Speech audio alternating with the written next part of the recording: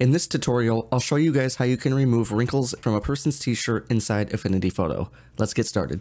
Inside Affinity Photo, with our photo imported here, the first thing I'm going to do is select our background layer here and just hit Control or Command J just to make a duplicate of that layer so that we have a backup if we need it. So now from here, to fix this wrinkly shirt, we're going to use a process called frequency separation. So to do this, we're just going to come up and hit filters and then frequency separation.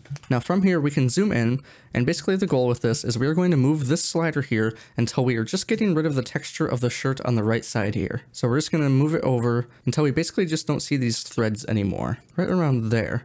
So right around 5 pixels for us. And from here we can just hit apply and that will separate our layer into high and low frequencies, as you can see in our layers panel over here. Now most of the work we are going to be doing in here is going to be done in the low frequency or our color layer, but if you need to, you can always come into the high frequency to adjust the texture. And if you guys are interested, I have a video that goes a little bit more in depth into frequency separation, so if you're interested in learning more about it, you can check that out. Now we can use a mixture of different retouching tools to de-wrinkle this shirt. The ones that we're going to be using are the healing brush, the paint mixer brush, and the clone stamp.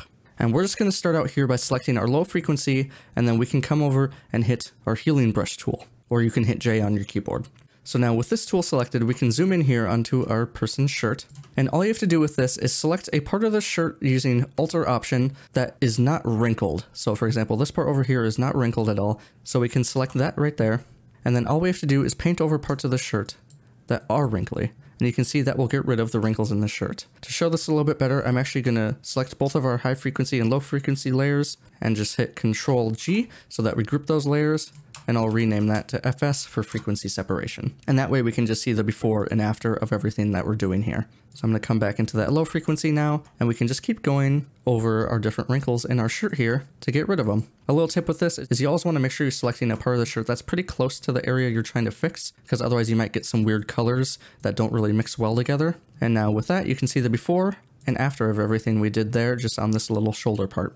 And now this tool works pretty well, but there is another tool that actually works a little bit better than this, and that is going to be the paint mixer brush over here. So now with this selected, I want you to come up and make sure you're working with a really low flow here because otherwise the effect will be really strong. And with any of these tools, you can always use the bracket keys on your keyboard to adjust the size of your brush. So now just like with our healing brush, we can hold down Alt or option and select a certain part of the shirt that doesn't have any wrinkles, and then we can paint over parts of the shirt that do have wrinkles. And now what this tool is actually doing is it's actually blending the colors together a little bit using the color that we have selected. So it works a little bit better in terms of this to actually blend the colors of wrinkles together. And as you can see, if your friend decided he wanted to spill a little bit of coffee on his shirt right before a photo shoot, you can actually get rid of those as well with this tool, which is pretty nice. So then you can just kind of keep going over everything. If you need to select a color again, you can always hold down Alt or option and select that. And you can start going over again. Then it's just a matter of going through all of the wrinkles on the shirt here and painting them away with this tool.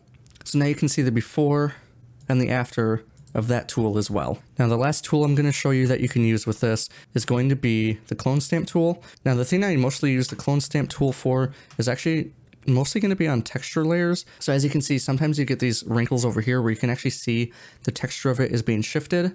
So if you need to paint over the texture of that, you can go ahead and do that with a clone stamp tool. Try and fix that as well just like that. So you can see the before and after of everything we did there. So now you can use a mixture of these tools to go ahead and paint out the rest of the wrinkles in your person's shirt. So now with that, I quickly went over each of the wrinkles on this person's shirt with each of the different tools here. I found for this one, most of the time the healing brush tool actually worked best for this case, but it might be different for your case. So be sure to try out these different tools and see which one works best for you.